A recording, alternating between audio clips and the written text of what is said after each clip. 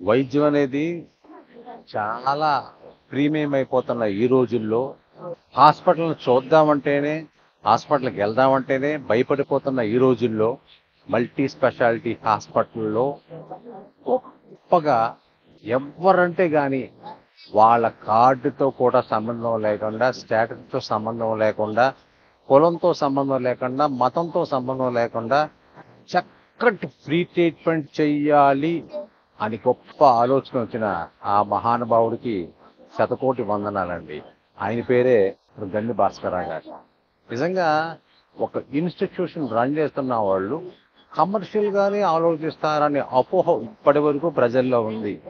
కానీ ఈ రోజు ప్రత్యక్షంగా నేను హైదరాబాద్ నుంచి వచ్చి చాలా మందిని నా ప్రాబ్లం మీద వచ్చి మామూలుగా క్యాజువల్గా ఏంటంటే ట్రీట్మెంట్ ఎలా ఉంది?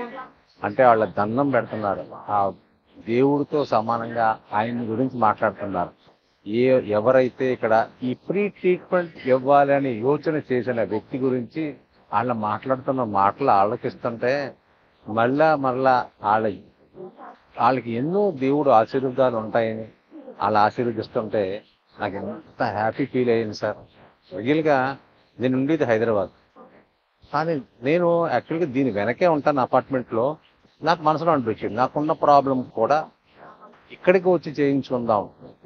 ఈ మంచి కమిట్మెంట్తో రెస్పాన్సిబిలిటీతో ఒక సొసైటీకి మనం ఒకటి చెయ్యాలి. మనం కూడా ఒక మన పార్ట్ మన వంతు సహాయం చేయాలనే చక్కటి సహృదయం మంచి భావనతో ఈచ్ అండ్ ఎవ్రీ ఇక్కడ మేనేజ్మెంట్ ఎలాగుందో అలాగే ఇక్కడ ఉన్న స్టాఫ్ డాక్టర్స్ ఆ ఎవ్రీబడి ప్రతి ఒక్కరు ఎంత ఆప్యాయంగా చూస్తున్నారండి.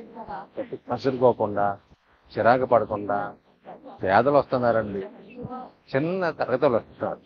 చిన్న చిన్న వాళ్ళు వస్తున్నారు. వాళ్ళందరితో ఎంత రేపో మెయింటైన్ చేస్తూ వాళ్ళందరినీ చక్కటి ఆ ముందు వాళ్ళందరికీ కౌన్సిలింగ్ ఇస్తూ అమ్మ ఇలా కూర్చోండి అమ్మా అమ్మా అలా మాట్లాడండి అమ్మా ఏం పర్లేదమ్మా నీకు తగ్గుతుందమ్మా అని చక్కగా అది ఎంత కాస్ట్లీదైనా సరే చక్కగా ఫ్రీగా చేసి పంపిస్తున్న హాస్పిటల్ కాదండి ఇది ఒక దేవాలయం. నేనైతే అలాగే ఫీల్ అవుతున్నాను. ప్రజలు ఈ జిఎస్ఎల్ హాస్పిటల్ మనకు అందుబాటులో ఉండడం అనేది మన గర్వకారణం.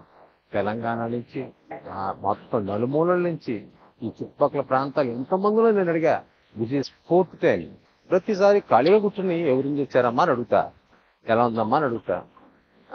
మీకు ఇక్కడ ట్రీట్మెంట్ జనరల్గా బాగానే ఉందమ్మా అని అడుగుతా. అందరూ ఎంత హ్యాపీ ఫీల్ అవుతున్నారంటే ఆ ఆ దేవుడు చల్లగా ఉండాలి. కానీ భాస్కర్ చల్లగా ఉండాలి. మేనేజ్మెంట్ చల్లగా ఉండాలి. అని ఎంత ఆశీర్వదిస్తుంటే నాకు చాలా ఆనందం వేస్తుంది. At the same time superintendent గారు అండి.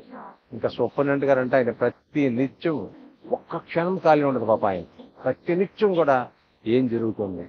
మానిటరింగ్ ఎలా జరుగుతుంది? మానిటరింగ్ ప్రతి ఒక్కరి దగ్గరికి పర్సనల్గా ఆయన వెళ్ళి మాట్లాడుతూ స్టాఫ్ దగ్గరికి వెళ్ళి పలకరిస్తూ రౌండ్స్లోకి వెళ్ళి పలకరిస్తూ పేషెంట్స్ దగ్గర పలకరిస్తూ డాక్టర్స్ దగ్గరికి వెళ్ళి పలకరిస్తూ ఎంత కమిట్మెంట్తో ఉన్నారు సార్?